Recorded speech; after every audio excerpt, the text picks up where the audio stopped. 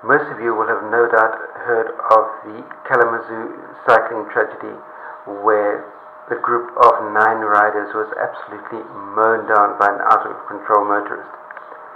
What you don't know is that the persona non grata of cycling, Lance Armstrong, is going to be out in Kalamazoo tomorrow. That's the, tomorrow, the 14th of June, to join the local riders in a a ride with the uh, deceased riders, friends and loved ones to bring attention to the plight of cycling safety in the area.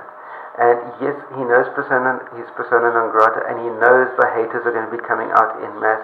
But what he's doing is he's use, he's leveraging the draw that he still has with the press to be able to bring attention to this very important matter.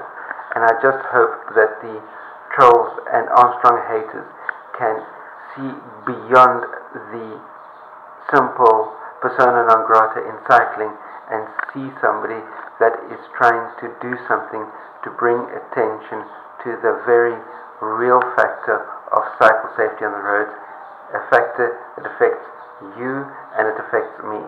So let's see if we can lay off on the hate towards Armstrong while he's out there supporting the Kalamazoo cyclists, the friends and loved ones of those that were killed in the tragedy last weekend. That's it for this really, really short video. Post any comments, questions, criticisms down below. Like, share, subscribe, and remember to stay carved up for the win. And I'll see you next time. Cheers. Whoa!